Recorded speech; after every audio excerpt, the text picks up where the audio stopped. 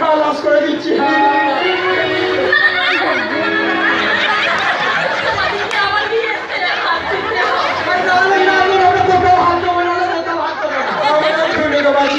এমন গান ধরবো না সেই গান শুনি তো বাচ্চাটা